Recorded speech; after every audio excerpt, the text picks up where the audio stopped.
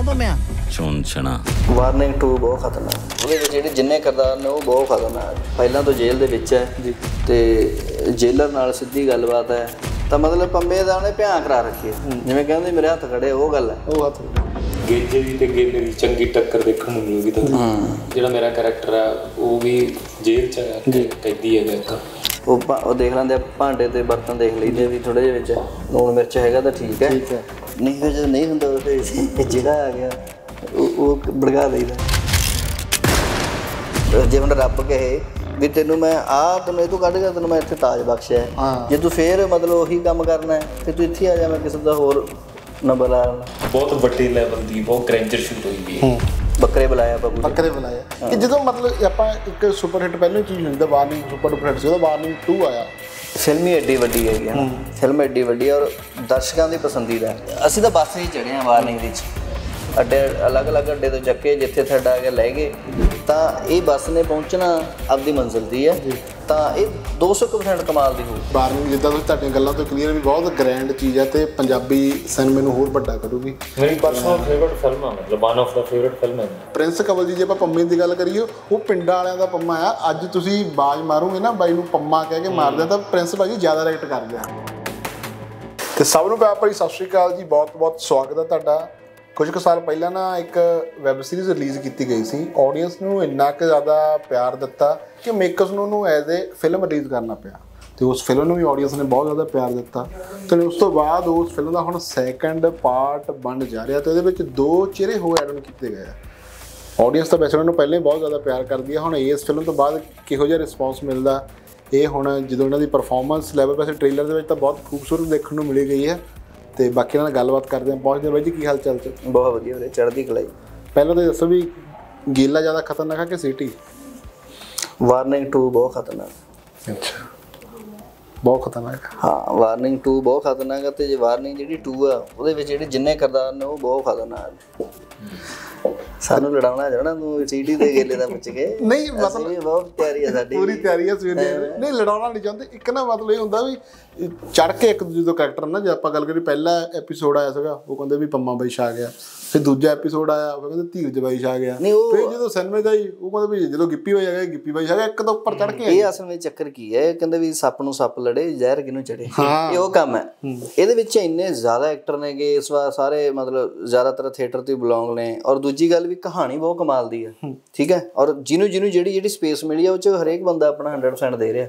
ਤਾਂ ਉਹ ਤਾਂ ਦਰਸ਼ਕ ਦੱਸਣਗੇ ਹੁਣ ਅਸੀਂ ਜੱਜਮੈਂਟਲ ਨਹੀਂ ਹੋ ਸਕਦੇ ਕਿਸੇ ਲਈ ਜਾਂ ਸਰ ਮੇਰਾ ਕਿਰਦਾਰ ਬਹੁਤ ਬਹੁਤ ਕਮਾਲ ਦਾ ਲਿਖਿਆ ਹੈ ਔਰ ਮੈਂ ਕੋਸ਼ਿਸ਼ ਕੀਤੀ ਉਹਨੂੰ ਵਧੀਆ ਕਰਨ ਦੀ ਬਾਈ ਦਾ ਜਾਂ ਹੋਰ ਜਿੰਨੇ ਵੀ ਕਿਰਦਾਰ ਨੇ ਸਾਰਿਆਂ ਨੇ ਆਪਣੇ ਆਪਣੇ ਮਤਲਬ ਫੁੱਲ ਬੂਟੀਆਂ ਪਾਈਆਂ ਕਿਰਦਾਰ ਨੂੰ। ਪੂਰੀਆਂ। ਹੂੰ। ਤੇ ਟੋਟਲ ਐਕਸ਼ਨ ਪੈਕ ਹੋਣ ਵਾਲੀ ਹੈ ਫਿਲਮ ਕਿ ਕੁਝ ਹੋਰ ਜੋਨਰਸ ਵੀ ਦੇਖਣ ਨੂੰ ਮਿਲਣਗੇ? ਪੂਰੀ ਕੰਪਲੀਟ ਫਿਲਮ ਹੈਗੀ। ਜੀ। ਐਕਸ਼ਨ ਕਾਮੇਡੀ ਡਰਾਮਾ ਰੋਮਾਂਸ ਤੁਹਾਨੂੰ ਸਾਰੇ ਤਰ੍ਹਾਂ ਦਾ ਇਹ ਚ ਫਲੇਵਰ ਹੈ ਜਿਹੜਾ ਰਾਸਾ ਮਿਲੂਗਾ। ਜੀ। ਔਰ ਕਾਮੇਡੀ ਮਤਲਬ ਉਸ ਟਾਈਪ ਦੀ ਕਾਮੇਡੀ ਨਹੀਂ ਕਿ ਆਊਟ ਆਫ ਦਾ ਵੇ ਜਾਂ ਕਾਮੇਡੀ ਹੈ ਡਾਰਕ ਕਾਮੇਡੀ ਹੈ ਹਿਊਮਰ ਨਹੀਂ ਨਹੀਂ ਮਤਲਬ ਉਹੀ ਉਹ ਉਹ ਤਾਂ ਪਤਾ ਹੀ ਹੈ ਵੀ ਜਿਹੜਾ ਵਾਰਨਿੰਗ ਪਹਿਲੀ ਦਾ ਮਾਹੌਲ ਸੀਗਾ ਉਸੇ ਨੇ ਕੈਰੀ ਔਨ ਕਰਿਆ ਹੋਇਆਗਾ ਔਰ ਜੇ ਮੈਂ ਆਪਣੀ ਗੱਲ ਕਰਾਂ ਤਾਂ ਮੇਰਾ ਇਹ ਵੀ ਇਹ ਸੂਤਰਧਾਰ ਹੈ ਫਿਲਮ ਦਾ ਸਿਟੀ ਹੈ ਜਿਹੜਾ।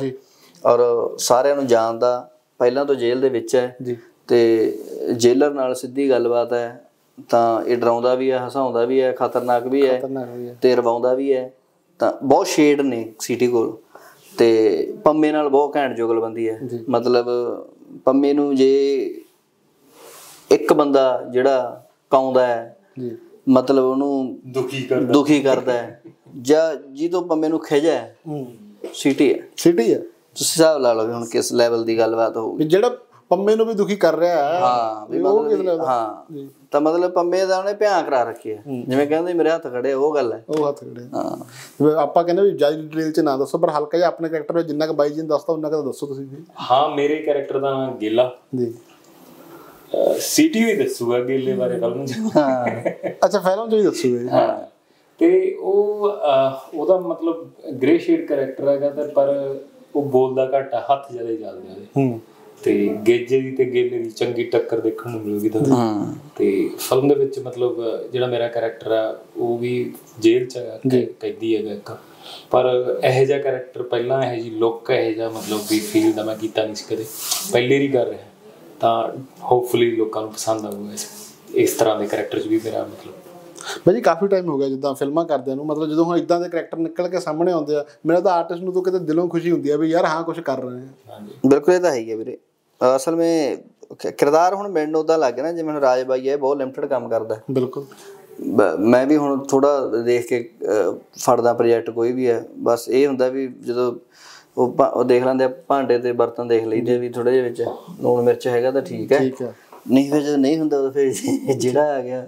ਉਹ ਉਹ ਭੜਕਾ ਦਈਦਾ। ਭਾਜੀ ਵੈਸੇ ਇੱਕ ਮੈਂ ਇਹ ਜਾਣਨਾ ਚਾਹੁੰਦਾ ਵੀ ਕਾਫੀ ਯੰਗਸਟਰ ਵੀ ਹੈ ਨਾ ਮਤਲਬ ਜਿਹੜੇ ਤੁਹਾਨੂੰ ਵੀ ਫੋਲੋ ਕਰਦੇ ਹੋਣਗੇ ਤੁਸੀਂ ਵੀ ਆਈਡਲ ਹੋਵੋਗੇ ਕਿਸੇ ਲਈ। ਇਹ ਮਤਲਬ ਕਦੋਂ ਕੁ ਬੰਦੇ ਨੂੰ ਕੀ ਕਰ ਲੈਣਾ ਚਾਹੀਦਾ ਡਿਸਾਈਡ ਵੀ ਇੱਕ ਤਾਂ ਹੁੰਦਾ ਵੀ ਪਹਿਲਾਂ ਜਿਹੜਾ ਕੰਮ ਮਿਲਦਾ ਯਾਰ ਕਰ ਲਈਏ ਕਰ ਲਈਏ। ਬਟ ਇੱਕ ਹਰ ਆਰਟਿਸਟ ਦੀ ਲਾਈਫ 'ਚ ਫੇਸ ਹੁੰਦਾ ਜਦੋਂ ਕਹਿੰਦਾ ਵੀ ਯਾਰ ਹੁਣ ਆਪਾਂ ਲਿਮਟ ਸੈੱਟ ਕਰ ਲਈ ਅੱਛੀ ਚੀਜ਼ ਕਰਨੀ ਉਹ ਕਦੋਂ ਕੁ ਬਾਰ ਬੰਦੇ ਨੂੰ ਕਰਨਾ ਚਾਹੀਦਾ? ਕਦੋਂ ਕਦਾ ਸਮੇਂ ਦਾ ਨਹੀਂ ਕੋਈ ਲਿਮਟ ਨਹੀਂ ਹੈਗੀ। ਇਹਦੀ ਗੱਲ ਇਹ ਹੈ ਵੀ ਤੁਹਾਡੀ ਸੈਟੀਸਫੈਕਸ਼ਨ ਦੀ ਗੱਲ ਹੈ ਤੁਹਾਡੇ ਕੰਫਰਟ ਦੀ ਗੱਲ ਹੈਗੀ ਵੀ ਜੇ ਹੁਣ ਪ੍ਰਿੰਸ ਬਾਈ ਸੀਗੇ ਪ੍ਰਿੰਸ ਬਾਈ ਜੇ ਆਪਾਂ ਪ੍ਰਿੰਸ ਬਾਈ ਦੀ ਐਗਜ਼ਾਮਪਲ ਦਿੰਨੇ ਆ ਪ੍ਰਿੰਸ ਬਾਈ ਸੀਗੇ ਜਿਹੜੇ 2-2 ਮਿੰਟ ਦੇ ਰੋਲ ਕਰਦੇ ਸੀ 2-2 ਸੀਨ ਇੱਕ ਸੀਨ ਡੇਢ ਸੀਨ ਕਦੇ 11000 ਕਦੇ 21000 ਕਦੇ 51000 ਉਹ ਸੀ ਅਸੀਂ ਵੀ ਉਹ ਚੀਜ਼ ਆ ਸ਼ਗਨ ਸਕੀਮਾਂ ਚੋਂ ਨਿਕਲੇ ਹੋਏ ਆ ਤੇ ਚੱਕਰ ਕੀ ਆ ਵੀ ਜਦੋਂ ਹੁਣ ਵਾਰਨਿੰਗ ਮਿਲ ਗਈ ਵਾਰਨਿੰਗ ਸੋਪਰੇਟ ਹੋ ਗਈ ਉਸ ਤੋਂ ਬਾਅਦ ਨਾ ਪ੍ਰਿੰਸ ਬਾਈ ਉਹ ਕਰੂਗਾ। ਉਹ ਕਹੂਗਾ ਜੇ ਹੁਣ ਰੱਬ ਕਹੇ ਵੀ ਤੈਨੂੰ ਮੈਂ ਆ ਤੈਨੂੰ ਇਹ ਤੋਂ ਕੱਢ ਗਿਆ ਤੈਨੂੰ ਮੈਂ ਇੱਥੇ ਤਾਜ ਬਖਸ਼ਿਆ। ਜੇ ਤੂੰ ਫੇਰ ਮਤਲਬ ਉਹੀ ਕੰਮ ਕਰਨਾ ਹੈ ਫਿਰ ਤੂੰ ਇੱਥੇ ਆ ਜਾ ਮੈਂ ਕਿਸੇ ਦਾ ਹੋਰ ਨੰਬਰ ਲਾ ਲੈਣਾ ਤੇ ਇਹ ਚੀਜ਼ ਹੈ ਵੀ ਜਦੋਂ ਅਸੀਂ ਜਦੋਂ ਇਹ ਹੁੰਦਾ ਵੀ ਪਹਿਲਾਂ ਤੁਸੀਂ ਕੰਮ ਦਿਓ ਕੰਮ ਸਿੱਟੋ ਆਪਣਾ ਅੰਨੇਵਾਹ ਕੰਮ ਕਰੋ। ਚੰਗਾ ਮਾੜਾ ਕੁਝ ਨਹੀਂ ਹੁੰਦਾ ਸਭ ਵਧੀਆ ਹੁੰਦਾ। ਸਭ ਵਧੀਆ ਹੁੰਦਾ। ਕੰਮ ਸਿੱਟੋ ਕੰਮ ਸਿੱਟੋ ਕੰਮ ਸਿੱਟੋ। ਪਰ ਜਦੋਂ ਤੁਹਾਨੂੰ ਥੋੜਾ ਤੁਸੀਂ ਪ੍ਰੂਵਡ ਹੋਣ ਲੱਗ ਜਾਂਦੇ ਹੋ ਤੁਹਾਨੂੰ ਪਤਾ ਆਡੀਅנס ਨੂੰ ਪਤਾ ਇੰਡਸਟਰੀ 'ਚ ਤੁਹਾਡਾ ਮੁਲਾਂਕਣ ਉਸ ਤਰੀਕੇ ਨਾਲ ਹੋਣ ਲੱਗ ਜਾਂਦਾ ਫਿਰ ਤੁਹਾਡੇ ਇੱਕ ਅੰਦਰੋਂ ਆਪਣੇ ਆਵਾਜ਼ ਆਉਂਦੀ ਹੈ ਜਾਂ ਤੁਹਾਡਾ ਜਿਹੜਾ ਇਨਰ ਆ ਉਹ ਚੀਜ਼ ਨੂੰ ਭਾਲਦਾ ਜਾਂ ਮਹਿਸੂਸ ਕਰਦਾ ਕਿ ਮੈਂ ਯਾਰ ਮੈਂ ਨਾ ਐਂ ਜੇ ਕੰਮ ਕਰੂੰਗਾ। ਹੁਣ ਮੈਂ ਐਂ ਜੇ ਕਰਨਾ ਚਾਹੁੰਦਾ ਮੈਂ ਆਪਦਾ ਦਿਖਾਤਾ। ਦਿਖਾਤਾ। ਵੀ ਮੈਂ ਕੀ ਕਰਨਾ ਵੀ ਉਹ ਸਭ ਨੂੰ ਪਤਾ ਵੀ ਲੱਗ ਗਿਆ ਤੇ ਹੁਣ ਮੈਂ ਬਾਹਲਾ ਭੀੜ ਦਾ ਹਿੱਸਾ ਨਹੀਂ ਹੋਣਾ। ਜੀ। ਵੀ ਹੁਣ ਮੈਂ ਜੋ ਮੈਨੂੰ ਦਿਲ ਜੇ ਨੂੰ ਫੀਲ ਹੋਊਗਾ ਉਹ ਮੈਂ ਕਰੂੰਗਾ ਬਾਕੀ ਉਹੀ ਗੱਲ ਵੀ ਜੇ ਮੇਰੇ ਲੂਣ ਮਿਰਚ ਚੀਜ਼ਾਂ ਸਾਰੀਆਂ ਠੀਕ ਨੇ ਫਿਰ ਇੱਕ ਨਦੀ ਕਰ ਵੀ ਲਓ। ਉਹ ਉਹ ਇਹ ਨਹੀਂ ਇੱਕ ਨਦੀ ਦਾ ਮਤਲਬ ਤੁਸੀਂ ਮਾੜੀ ਮਾੜੀ। ਦਾ ਮਤਲਬ ਨਹੀਂ ਵੀ ਫਿਰ ਤੁਸੀਂ ਇਹ ਵੀ ਕਰ ਸਕਦੇ ਵੀ ਬਿਨਾ ਸੁਣੇ। ਬਿਨਾਂ ਸੁਣੇ। ਕੋਈ ਵੀ ਉਹ ਸੁਪਰੇਟ ਵੀ ਹੋ ਸਕਦੀ ਹੈ ਉਹ ਬਹੁਤ ਬਿਹਤਰ ਵੀ ਹੋ ਸਕਦੀ ਹੈ ਉਹ ਵਾਰਡ ਵਿਨਰ ਵੀ ਹੋ ਸਕਦੀ ਹੈ। ਕਿਉਂਕਿ ਹਾਲਾਤ ਤੁਹਾਨੂੰ ਪਤਾ ਨਹੀਂ ਕਿੱਦੋਂ ਲੈਣ ਤਾਂ ਉਹ ਚੀਜ਼ ਹੈ। ਇਹ ਵੀ ਜਿੱਦਾਂ ਤੁਸੀਂ ਰਾਈਟਰ ਵੀ ਹੋ ਨਾ ਫਿਲਮਾਂ ਲਿਖਦੇ ਵੀ ਆ ਹੁਣ ਵਾਰਨਿੰਗ ਦੀ ਜੇ ਆਪਾਂ ਲਿਖਤ ਦੀ ਗੱਲ ਕਰੀਏ ਮਤਲਬ ਐਕਟਿੰਗ ਤਾਂ ਇਹਦੀ ਲਿਖਤ ਬਹੁਤ ਖੂਬਸੂਰਤ ਸੀ ਜਿਹਨੂੰ ਲੋਕਾਂ ਨੇ ਮਤਲਬ ਪਿਆਰ ਕੀਤਾ। ਮੈਨੂੰ ਅਸੀਂ ਸ਼ੋਰ ਆ ਵੀ ਵਾਰਨਿੰਗ 2 ਦੀ ਲਿਖਤ ਉਸ ਤੋਂ ਵੀ ਨੈਕਸਟ ਲੈਵਲ ਦੀ ਹੋਊਗੀ। ਫਿਰ ਜਦੋਂ ਆਪਾਂ ਫਿਲਮ ਸੀਨ ਕਰਦੇ ਜਾਂ ਆਪਣਾ ਸ਼ੂਟ ਅੰਦਰ ਦਾ ਰਾਈਟਰ ਕਿਤੇ ਜਾਗਦਾ ਬੰਦੇ ਦਾ ਵੀ ਯਾਰ ਇਹ ਆਪਾਂ ਇਦਾਂ ਕਰ ਲਈਏ। ਫਿਰ ਬੰਦਾ ਇਹ ਵੀ ਸੋਚਦਾ ਯਾਰ ਵੀ ਪ੍ਰਿੰਸ ਬਾਈ ਨੇ ਡਾਇਲੋਗ ਲਿਖਿਆ ਵੀ ਬਹੁਤ ਲਿਖਿਆ ਝਿਜਕਦਾ ਵੀ ਇਹ ਬੰਦਾ ਕਿਤੇ ਨਾ ਕਿਤੇ ਯਾਰ ਹੋਊਗਾ। ਇਹ ਕੁਛ ਚੱਲਦਾ ਸੀ ਇਦਾਂ ਅਹ, ਜਦੋਂ ਵਾਰਨਿੰਗ ਦੀ ਸਕ੍ਰਿਪਟ ਮਿਲੀ ਤਾਂ ਉਹ ਸੱਚੀ ਏਡੀ ਫਾਈਨ ਰਾਈਟਿੰਗ ਸੀਗੀ। ਜੀ। ਉਹਦੇ ਜਿਹੜਾ ਰਾਈਟਰ ਉਹਨਾਂ ਨੇ ਜਾਗਣੀ ਨਹੀਂ ਦਿੱਤਾ। ਓਕੇ। ਉਹ ਪਹਿਲਾਂ ਹੀ ਇੰਨੀ ਫਾਈਨ ਲਿਖੀ ਹੋਈ ਸੀਗੀ। ਜੀ। ਸੱਚੀ ਗੱਲ ਹੈ ਤੂੰ ਵੀ ਵੀਰੇ ਪੜ੍ਹੀ ਪੜ੍ਹੀ ਹੈਗੀ। ਤੇ ਉਹ ਵੈਸੇ ਮੈਂ ਮਤਲਬ ਵੀ ਜਦੋਂ ਕੋਈ ਫਿਲਮ ਕਰ ਰਿਹਾ ਹੁੰਨਾਗਾ ਤਾਂ ਮੈਨੂੰ ਦਿਖਦਾ ਹੁੰਦਾ ਕਿ ਵੀ ਮੈਂ ਸਕ੍ਰਿਪਟ ਲੈਣਾਗਾ ਵੀ ਐਜ਼ ਅ ਰਾਈਟਰ ਦਿਖਣ ਲੱਗ ਜਾਂਦਾ ਹਾਂ ਬਿਲਕੁਲ। ਬੈਟਰ ਡਾਇਲੌਗ ਹੋ ਸਕਦਾਗਾ ਹਨਾ। ਤੇ ਉਹ ਪਰ ਇਹਦੀ ਸਕ੍ਰਿਪਟ ਸੱਚੀ ਬਹੁਤ ਫਾਈਨ ਤਰੀਕੇ ਨਾਲ ਲਿਖੀ ਹੋਈ ਸੀ। ਟਾਈਮ ਸਪੈਂਡ ਕੀਤਾ ਹੋਇਆ ਰਾਈਟਰ ਨੇ ਉਹ ਪਤਾ ਲੱਗਦਾ ਸੀ ਸਕ੍ਰਿਪਟ ਪੜ੍ਹੇ ਤੋਂ ਹੀ ਜੀ। ਇਨੀ ਡਿਟੇਲ ਦੇ ਵਿੱਚ ਸੀਗੀ। ਜੀ। ਤਾਂ ਇਹੋ ਜਿਹਾ ਮੌਕਾ ਹੀ ਨਹੀਂ ਦਿੱਤਾ ਵਾਰਨਿੰਗ ਟੂ ਨੇ ਮਤਲਬ। ਬਹੁਤ ਵਧੀਆ ਸਕ੍ਰਿਪਟ ਲਿਖੀ ਹੋਈ ਸੀ ਬਹੁਤ ਫਾਈਨ ਸਕ੍ਰਿਪਟ ਸੀਗੀ। ਤੇ ਤੁਸੀਂ ਦੇਖਿਓ ਸ਼ੂਟ ਵਾਈਜ਼ ਵੀ ਤੁਸੀਂ ਦੇਖੋਗੇ ਹੁਣ ਵੀ ਬਹੁਤ ਵੱਡੇ ਲੈਵਲ ਦੀ ਬਹੁਤ ਗ੍ਰੈਂਜਰ ਸ਼ੂਟ ਹੋਈ ਵੀ ਹੈ। ਤੇ ਬਈ ਜਿੱਦਾਂ ਇਨਪੁਟਸ ਦੇਖਣ ਨੂੰ ਮਿਲਦੀਆਂ ਕ੍ਰਿਮੀਨਲ ਚ ਤੁਹਾਡਾ ਚੀਚੀ ਵਾਲਾ ਸੀਨ ਹੋ ਗਿਆ ਜਾਂ ਆਪਾਂ ਗੱਲ ਕਰ ਲਈਏ ਮਾਂ ਫਿਲਮ ਦੀ ਜੇ ਕੀਤੀ ਵੀ ਡਾਇਰੈਕਟਰ ਤੋਂ ਲੈਦਾ ਜਿਹੜੀਆਂ ਚੀਜ਼ਾਂ ਡਾਇਰੈਕਟਰ ਤੁਹਾਡੀ ਤਾਰੀਫ ਕਰਦੇ ਹੁੰਦੇ ਨੇ ਵੀ ਰਗਵੀਰ ਬੋਲੀ ਥੋੜੀਆਂ ਚੀਜ਼ਾਂ ਉਹ ਦੇ ਦਿੰਦਾ। ਇਹਦੇ ਵਿੱਚ ਵੀ ਰਗਵੀਰ ਬੋਲੀ ਨੇ ਕੁਝ ਇਨਪੁਟਸ ਦਿੱਤੇ ਜਾਂ ਫਾਈਨਲ ਸੀਗਾ ਵੀ ਆਹੀ ਚੀਜ਼ਾਂ ਤੇ ਇਦਾਂ ਕਰਨੀ ਨਹੀਂ ਕਰੈਕਟਰ ਬਹੁਤ ਵਧੀਆ ਲਿਖਿਆ ਹੋਇਆ ਸੀਗਾ। ਬਾਕੀ ਇਹ ਹੁੰਦਾ ਵੀ ਜੇ ਮੈਂ ਇਨਪੁਟਸ ਪਾਉਣਾ ਵੀ ਆ ਤਾਂ ਉਹ ਡਾਇਰੈਕਟਰ ਰਾਈਟਰ ਜਾਂ ਜਿਵੇਂ ਗਿੱਪੀ ਬਾਈ ਇਹਨਾਂ ਨੂੰ ਪੁੱਛ ਕੇ ਇਹ ਚੀਜ਼ਾਂ ਐਡ ਕਰਦਾ। ਜਿਵੇਂ ਇਹਦੇ ਵਿੱਚ ਇਹਦੇ ਚੀਜ਼ ਵਿੱਚ ਵੀ ਕੀਤੀਆਂ ਨੇ। ਇੰਪਰੋਵਾਈਜ਼ੇਸ਼ਨ ਮੈਂ ਉਹ ਕਰਦਾ ਨਾ ਜਿਹੜੀ ਮੇਰੇ ਕਰੈਕਟਰ ਨੂੰ ਨਿਖਾਰੇ। ਜੀ। ਮੇਰੇ ਕਰੈਕਟਰ ਨੂੰ ਦੂਜੇ ਕਰੈਕਟਰਾਂ ਤੋਂ ਮੇਰੀ ਕਹਾਣੀ ਨੂੰ ਮੇਰਾ ਕਰੈਕਟਰ ਭਟਕਾਵੇ ਨਾ। ਜੀ। ਉਹ ਕਹਾਣੀ ਦੇ ਵਿੱਚ ਜਿਹੜੀ ਸਿਚੁਏਸ਼ਨ ਦੀ ਅਸੀਂ ਗੱਲ ਕਰ ਰਹੇ ਹਾਂ ਉਹ ਸਿਚੁਏਸ਼ਨ ਦੇ ਵਿੱਚ ਜੇ ਮੇਰੀ ਇੰਪਰੋਵਾਈਜੇਸ਼ਨ ਨਾਲ ਕੋਈ ਚੀਜ਼ ਵਧੀਆ ਬਣਦੀ ਹੈ ਜਾਂ ਕਰੈਕਟਰ ਜਾਂ ਉਹ ਉਹ ਸੀਨ ਤਾਂ ਉਦੋਂ ਮੈਂ ਕਰਦਾ ਪੁੱਛ ਕੇ ਡਾਇਰੈਕਟਰ ਤਾਂ। ਇਹਦੇ ਵਿੱਚ ਵੀ ਹੈਗੀਆਂ ਇੱਕ ਦੋ ਚੀਜ਼ਾਂ ਬੱਕਰੇ ਬੁਲਾਇਆ ਆਪਾਂ ਪੂਰੇ। ਬੱਕਰੇ ਬੁਲਾਇਆ। ਇਹ ਜਦੋਂ ਮਤਲਬ ਆਪਾਂ ਇੱਕ ਸੁਪਰ ਹਿੱਟ ਪਹਿਲਾਂ ਹੀ ਚੀਜ਼ ਹੁੰਦੀ ਦਾ ਵਾਰਨਿੰਗ ਸੁਪਰ ਡੁਪਰ ਹਿੱਟ ਸੀ ਉਹਦਾ ਵਾਰਨਿੰਗ 2 ਆਇਆ। ਉਹ ਚ ਕਰੈਕਟਰ ਵੀ ਆਪਾਂ ਨਵੇਂ ਆਉਣ ਕੀਤੇ। ਬੰਦਾ ਕਿਤੇ ਨਾ ਕਿਤੇ ਇਹ ਸੋਚਦਾ ਹੀ ਹੈ ਨਾ ਯਾਰ ਵੀ ਮੇਰੀ ਪਰਫਾਰਮੈਂਸ ਲੈਵਲ ਵੀ ਉਸ ਤਰ੍ਹਾਂ ਦੀ ਹੋਣੀ ਚਾਹੀਦੀ ਹੈ ਪਰਮਾਤਮਾ ਨੇ ਦੇਖੋ ਚੱਲਣੀ ਨਹੀਂ ਚੱਲਣੀ ਉਹ ਵਾਹਿਗੁਰੂ ਨੂੰ ਪਤਾ। ਵੀ ਕੱਲ ਨੂੰ ਇਦਾਂ ਨਾ ਕਹਿ ਦੇਣ ਵੀ ਆਹ ਬੰਦੇ ਦੀ ਪਰਫਾਰਮੈਂਸ ਲੈਵਲ ਅੱਛੀ ਸੀਗੀ ਤਾਂ ਨਾ ਹੋਇਆ। ਕਿਤੇ ਮੈਂਟਲੀ ਪ੍ਰੈਸ਼ਰ ਰਹਿੰਦਾ ਇਸ ਚੀਜ਼ ਦਾ? ਜਦੋਂ ਆਪਾਂ ਸੈਕੰਡ ਪਾਰਟ ਸਪੈਸ਼ਲੀ ਹਿੱਟ ਚੀਜ਼ ਦਾ ਸ਼ੂਟ ਕਰਦੇ ਆ ਅਸਲ ਵਿੱਚ ਚੱਕਰ ਕੀ ਹੈ ਵੀ ਫਿਲਮ ਹੀ ਐਡੀ ਵੱਡੀ ਹੈਗੀ ਹੈ ਨਾ। ਫਿਲਮ ਐਡੀ ਵੱਡੀ ਹੈ ਔਰ ਦਰਸ਼ਕਾਂ ਦੀ ਪਸੰਦੀਦਾ ਅਸੀਂ ਉਹਦੇ ਪਾਤਰ ਆਂਗੇ ਬਿਲਕੁਲ। ਸਮਝਦਾ ਅਸੀਂ ਆਪਣੀ ਭੂਮਿਕਾ ਨਿਭਾਉਣੀ ਹੈ। ਉਸ ਤੋਂ ਬਾਅਦ ਦਰਸ਼ਕਾਂ ਦੀ ਹੈ। ਉਸ ਤੋਂ ਬਾਅਦ ਜਿਹੜੇ ਪੰਮਾ ਗੇਜਾ ਇਹ ਕਿਰਦਾਰ ਆ ਗਏ ਹਨਾ? ਤਾਂ ਅਸੀਂ ਅਸੀਂ ਤਾਂ ਬੱਸ 'ਚ ਚੜੇ ਆ ਵਾਰਨਿੰਗ ਦੀ ਚ।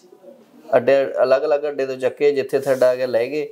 ਤਾਂ ਇਹ ਬੱਸ ਨੇ ਪਹੁੰਚਣਾ ਆਪਦੀ ਮੰਜ਼ਿਲ ਦੀ ਹੈ ਤਾਂ ਇਹ 200% ਕਮਾਲ ਦੀ ਹੋਊ ਕਿਉਂਕਿ ਪਹਿਲਾਂ ਇੰਨੇ ਕੈਰੈਕਟਰ ਸੀਗੇ ਹਨਾ? ਵੀ 8-10 ਸੀਗੇ। ਇਸ ਵਾਰ ਤੁਹਾਨੂੰ ਮਤਲਬ ਜੀ ਚ ਮੋਢਾ ਵੱਜੂਗਾ ਐਕਟਰ ਹੀ ਦੇਖੂਗਾ ਵੀ ਆ ਵੀ ਹੈ ਚਾਹ ਵੀ ਹੈ ਇਹ ਚੀਜ਼ ਹੈ ਤਾਂ ਇਹ ਬਹੁਤ ਕਮਾਲ ਹੋਣ ਵਾਲੀ ਹੈ। ਬਾਈ ਨੇ ਤਾਂ ਹੰਬਲ ਮੋਸ਼ਨ ਪਿਕਚਰਸ ਨਾਲ ਕਾਫੀ ਕੰਮ ਕੀਤਾ। ਮੈਨੂੰ ਲੱਗਦਾ ਤੁਹਾਡਾ ਸੈਕੰਡ ਪ੍ਰੋਜੈਕਟ ਹੈ ਹਾਂਜੀ ਕੀ ਰੀਜ਼ਨ ਆ ਵੀ ਐਡਾ ਸਕਸੈਸਫੁਲ ਪ੍ਰੋਡਕਸ਼ਨ ਹਾਊਸ ਅਹ ਬਾਈ ਵਰਗੇ ਨਾ ਜਦੋਂ ਕਾਸਟਿੰਗ ਕਰਦੇ ਆ ਤਾਂ ਜਿਸ ਹਿਸਾਬ ਦੇ ਕੈਰੈਕਟਰ ਲਿਖੇ ਹੁੰਦੇ ਆ ਉਹੀ ਜਿਹੇ ਬੰਦੇ ਐਕਟਰ ਲੱਭਦੇ ਆ ਉਹਦੇ ਵਿੱਚ ਨਾ। ਤਾਂ ਮੈਨੂੰ ਨਾ ਹੀ ਮੈਂ ਕਦੇ ਕਿਸੇ ਕੈਰੈਕਟਰ 'ਚ ਧੱਕੇ ਨਾਲ ਕਾਸਟ ਹੋਣਾ ਚਾਹਣਾ ਜੀ। ਜਿਹੜਾ ਮੈਨੂੰ ਲੱਗਦਾਗਾ ਵੀ ਯਾਰ ਹਾਂ ਮੈਨੂੰ ਕਰਨਾ ਚਾਹੀਦਾਗਾ ਉਹ ਮੈਂ ਕਰਦਾ ਤੇ ਬਾਈ ਵਰਗੇ ਆਫਰ ਵੀ ਮੈਨੂੰ ਉਹੀ ਕਰਦੇ ਜਿਹਦੇ 'ਚ ਮੈਂ ਫਿੱਟ ਬੈਠਦਾ। ਬਿਲਕੁਲ। ਤਾਂ ਮੈਂ ਹੋਰ ਵੀ ਮਤਲਬ ਜਿਹੜੇ ਬਾਕੀ ਦੇ ਪ੍ਰੋਜੈਕਟ ਕਰ ਰਿਹਾ ਆਪਦੇ ਲਿਖੇ ਹੋਏ ਵੀ ਕਰ ਰਿਹਾ ਮੈਂ ਨਾ ਤਾਂ ਉਹ ਕਾਫੀ ਚੱਲ ਰਿਹਾ ਬਾਈ ਵਰਗਿਆਂ ਨਾਲ ਇੱਧਰ ਮੈਂ ਇੱਕ ਫਿਲਮ ਹੁਣੀ ਲਿਖੀ ਸੀ ਸ਼ੇਰਾਂ ਦੀ ਕੌਮ ਜੀ ਜੀ ਬਿਲਕੁਲ। ਪ੍ਰਿੰਸ ਬਾਈ ਗਿੱਪੀ ਬਾਈ ਤੇ ਮੈਂ ਲਿਖੀ ਸੀ ਤੇ ਨਾਲੇ ਸੀ ਤਾਂ ਉਹ ਵੀ ਚੱਲ ਰਿਹਾ ਹੈਗਾ ਰਾਈਟਿੰਗ ਦਾ ਵੀ ਚੱਲ ਰਿਹਾ ਹੈਗਾ। ਤਾਂ ਤਕਰੀਬਨ ਚਾਰੇ ਪਾਸੇ ਮੈਂ ਤਾਂ ਕੰਮ ਕਰ ਰਿਹਾ ਹੈਗਾ ਮੈਂ ਬਹੁਤ ਲੱਕੀ ਹਾਂ ਇਸ ਮਾਮਲੇ ਦੇ ਵਿੱਚ। ਸਾਰੀ ਇੰਡਸਟਰੀ ਨਾਲ ਹੀ ਮੇਰੀ ਵਧੀਆ ਹੈ ਸਾਰੀ ਕੋ ਪਿਆਰ ਕਰਦੇ ਹੈ। ਤੇ ਸਮਾਂ ਇਜਾਜ਼ਤ ਨਹੀਂ ਦੇ ਰਿਹਾ ਜੀ। ਪੀਆਰ ਟੀਮ ਨੇ ਇਸ਼ਾਰਾ ਕਰ ਦਿੱਤਾ ਹੈ। ਤੇ ਥੈਂਕ ਯੂ ਸੋ ਮੱਚ ਸਾਨੂੰ ਮਤਲਬ ਯਕੀਨ ਹੀ ਹੈ ਇਸ ਚੀਜ਼ ਦੇ ਉੱਤੇ ਵੀ ਵਾਰਨਿੰਗ ਜਿੱਦਾਂ ਤੁਸੀਂ ਤੁਹਾਡੀਆਂ ਗੱਲਾਂ ਤੋਂ ਕਲੀਅਰ ਵੀ ਬਹੁਤ ਗ੍ਰੈਂਡ ਚੀਜ਼ ਹੈ ਤੇ ਪੰਜਾਬੀ ਸਿਨੇਮੇ ਨੂੰ ਹੋਰ ਵੱਡਾ ਕਰੂਗੀ। ਮੇਰੀ ਪਰਸਨਲ ਫੇਵਰਿਟ ਫਿਲਮ ਆ ਮਤਲਬ one of the favourite film ਹੈ ਜੀ। ਨਹੀਂ ਮੈਨੂੰ ਇਹ ਨਾ ਮਤਲਬ ਜਿਹੜੀ ਵਾਰਨਿੰਗ ਫਿਲਮ ਆ ਇੱਕ ਨਾ ਹੁੰਦੀ ਜਿਹੜੀ ਕਹਿੰਦੇ ਪਿੰਡਾਂ ਦੀ ਫਿਲਮ ਆ। ਹਾਂ ਵਾਰਨਿੰਗ ਮਤਲਬ ਪਿੰਡਾਂ ਦੀ ਫਿਲਮ ਆ। ਪ੍ਰਿੰਸ ਕਵਲ ਜੀ ਜੇ ਆਪਾਂ ਪੰਮੇ ਦੀ ਗੱਲ ਕਰੀਏ ਉਹ ਪਿੰਡਾਂ ਵਾਲਿਆਂ ਦਾ ਪੰਮਾ ਆ। ਅੱਜ ਤੁਸੀਂ ਬਾਜ ਮਾਰੋਗੇ ਨਾ ਬਾਈ ਨੂੰ ਪੰਮਾ ਕਹਿ ਕੇ ਮਾਰਦੇ ਤਾਂ ਪ੍ਰਿੰਸ ਬਾਜੀ ਜ਼ਿਆਦਾ ਰਿਐਕਟ ਕਰਦੇ ਆ। ਬਿਲਕੁਲ ਇਹ ਚੀਜ਼ ਹੋ ਜਾਂਦੀ ਆ। ਤੇ sir thank you so much ਤੇ 2 ਫਰਵਰੀ ਨੂੰ। ਹਾਂਜੀ 2 ਫਰਵਰੀ ਨੂੰ ਫਿਲਮ ਆ ਰਹੀ ਹੈ ਸਾਡੀ ਵਾਰਨਿੰਗ ਅਹ ਤੁਸੀਂ ਦੇਖਣ ਜਾਇਓ ਦੋਸਤਾਂ ਮਿੱਤਰਾਂ ਨਾਲ ਪਰਿਵਾਰ ਨਾਲ। ਫੈਸਟੀਵਲ ਸੀਜ਼ਨ ਚੱਲ ਰਿਹਾ ਹੈ। ਪਹਿਲਾਂ ਦੀਵਾਲੀ ਆਈ ਸੀ ਫਿਰ ਲੋਹੜੀ। ਹੁਣ 2 ਤਰੀਕ ਨੂੰ ਆ ਰਹੀ ਹੈ ਵਾਰਨਿੰਗ ਤੇ ਵਾਰਨਿੰਗ ਫਿਲਮ ਹੈ ਜਿਹੜੀ ਵਾਰਨਿੰਗ ਟੂ ਫਿਲਮ ਹੈ। ਉਹ ਫਿਲਮ ਨਹੀਂ ਫੈਸਟੀਵਲ ਹੈ ਜਿਵੇਂ ਪਟਾਕੇ ਬਹਿਣਗੇ ਜਿਹੜਾ ਕਿ ਚੱਲਣਗੇ। ਸਭ ਨੂੰ ਪਿਆਰ ਭਰੀ ਸਤਿ ਸ਼੍ਰੀ ਅਕਾਲ।